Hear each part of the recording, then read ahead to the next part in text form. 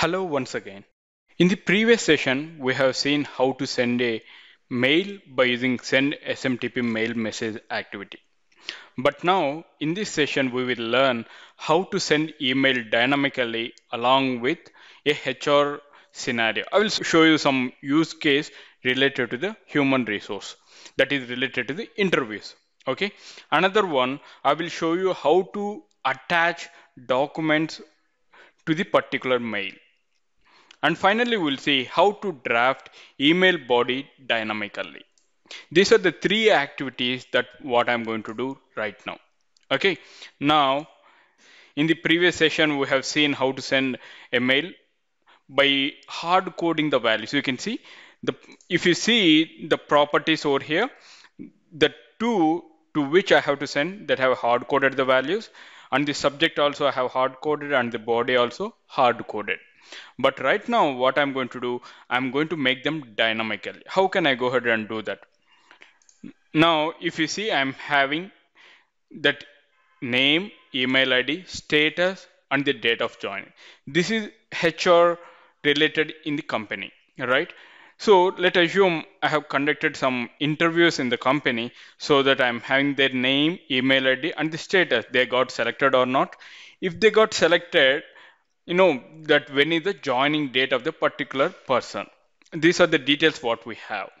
Now, what is my agenda over here is that whoever has been selected, I have to send them a mail saying that that congratulations, you are selected and joining date is 21 April 2020. And who are rejected, that I can simply say, dear person, uh, that they, you know, you for the interview process, you got rejected. That I have to say these kind of mails to the particular person. Okay, now how can I go ahead and do that? Now let me go to UiPath. First of all, to read that Excel, what is the activity that we are going to use? Excel application scope. We have already seen this Excel application scope in our previous sessions, right? Let me drag and drop this Excel application scope. And then I'm going to browse it. In the email, I have to read each and everything. That's the reason I'm going to using Excel application scope to open this email.excel. Once it has been opened, that I want to read each and every row of the particular Excel of the sheet one. Now, how can I go ahead and read that? By using read range activity, right? So where we'll find in the Excel, we'll find read range activity. Let me drag and drop onto the panel.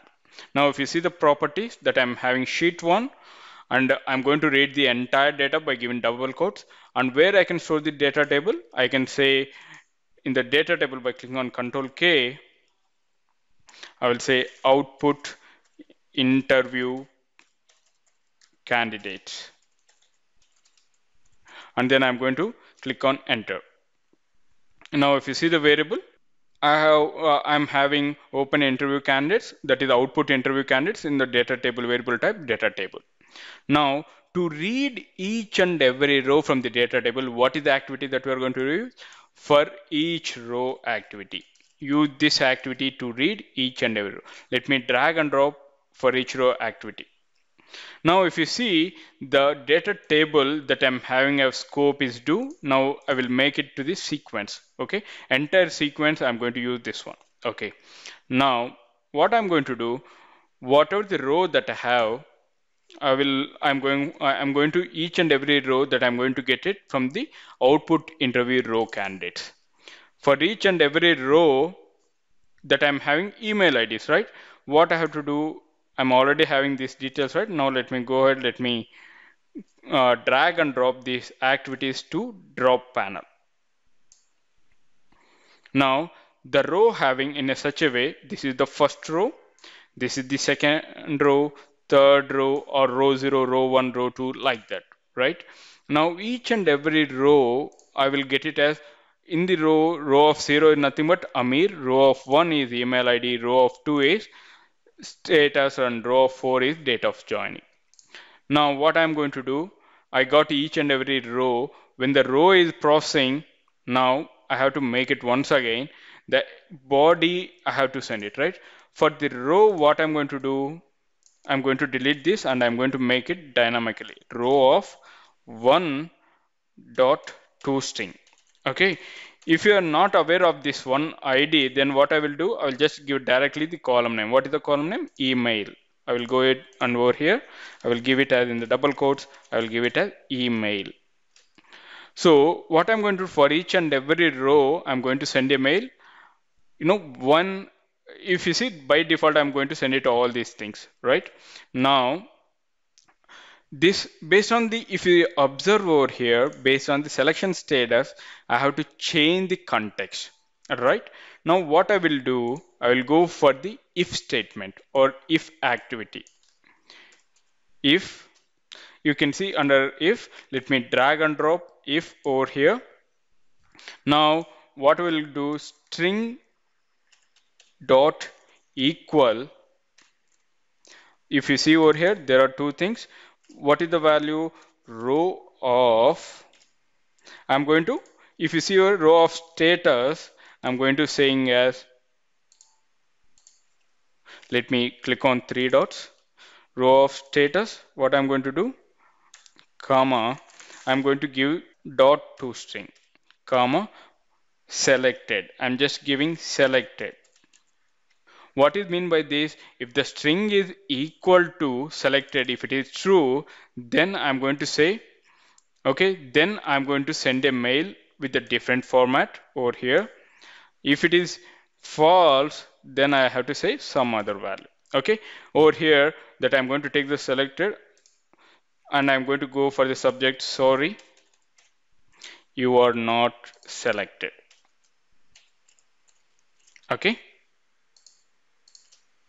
now let me explain you once again. What I'm going to do I'm going to read each and every mail each and every record in the Excel by using Excel application scope. And then by using read range I'm going to store the data in the data table that is output data table. Output interview candidates I have given as an output right? Now each and every row I have to send a mail based on the email ID how can I go ahead and read that by using for each row activity I am going to read each and everything now if you see in the body what is happening over here if condition if the status equal to selected, then I have to send to the particular email ID saying that congrats, you are selected. If it is false, then to the particular email ID, sorry, you are not selected. Now, I will show you some more thing over here. If you see the body also has to change, right? Now let me go to the properties of this. And now let me open this thing. Now if you see over here, dear Basha, I have to also this body also, I have to make it at a dynamic, right? How can I go ahead and do that? Dear, I'm going to concatenate with row of what you will find it out. You can see in the name, name is dynamically, I have to set it, right? Row that is name dot to string. I'm going to convert into that into string format, right?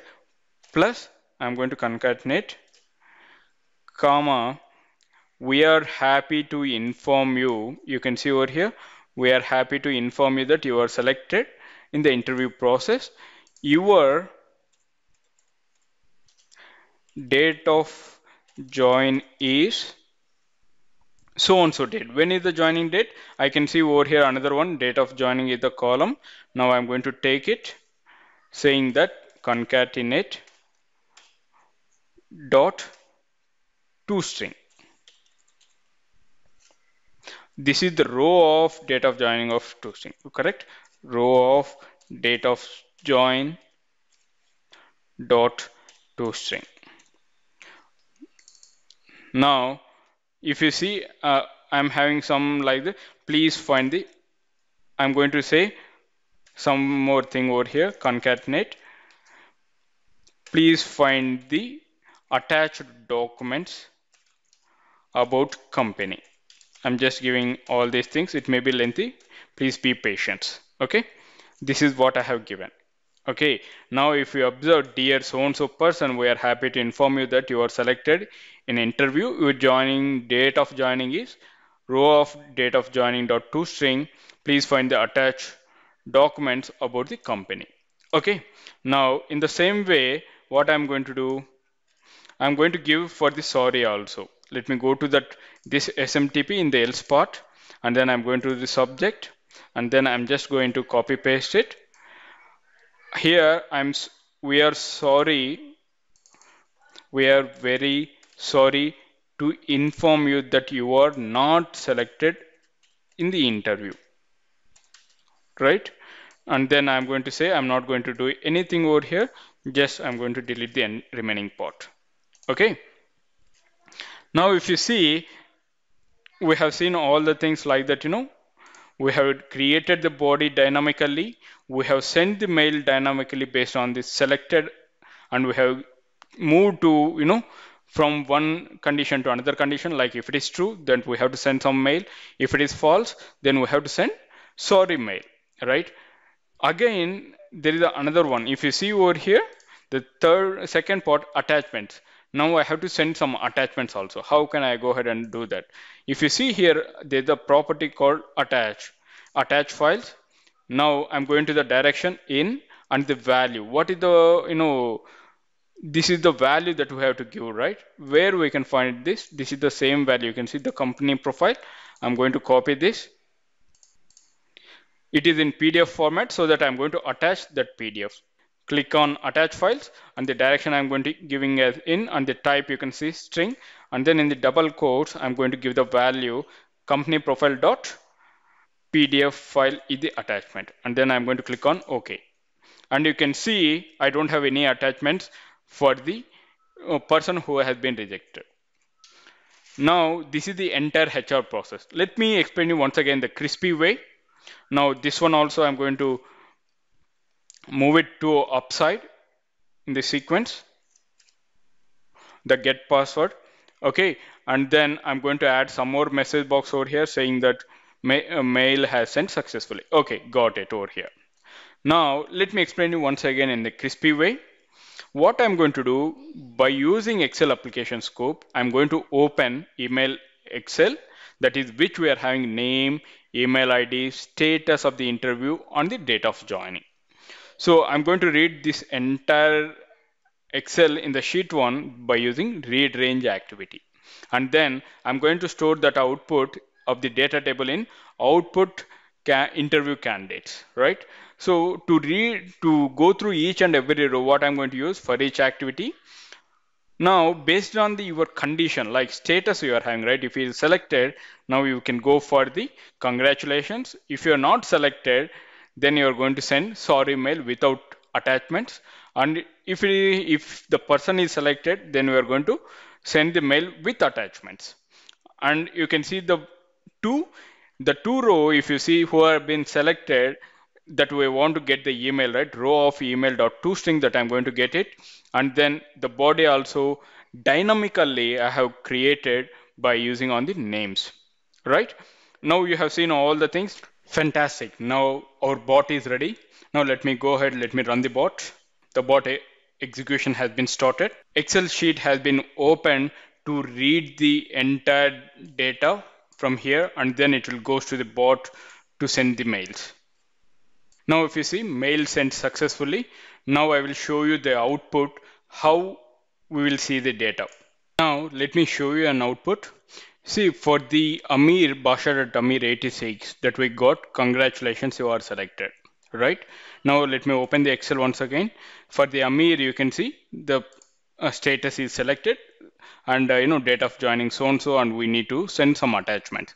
But I have changed a little bit over here like you know for the learning technologies 2020 I have given the status as rejected and uh, there is no date of joining for this person. Right? And then we don't have any attachment. For the remaining things these are all the dummy email IDs so that we will give get mail delivery error in the mail. Let me show you that you can see over here Amir Basha congratulations you are selected now you can see the attachment also over here you can see right dear Amir we are happy to inform you that you know you are selected in the interview and you can see that dynamically your date of joining is so and so thing please find the docs about the company. This is the document. And what about if the person is rejected? You can see over here, you can see there the rejections also, right? If you see in the rejections, dear Vishwa, we are sorry to inform you that you are not selected, right? That's the mean and we don't have any kind of attachments over here, right? This is how we are going to send the data dynamically. In this session, we have seen how to send an email by using send SMTP mail message activity dynamically. And also we have seen how to attach the files. And also we have seen how to create the body dynamically. Thank you for watching UiPath tutorials. If you have any queries related to this concept, please post them in the comment section. I will see you in the next session. Till then, bye bye. Have a nice day.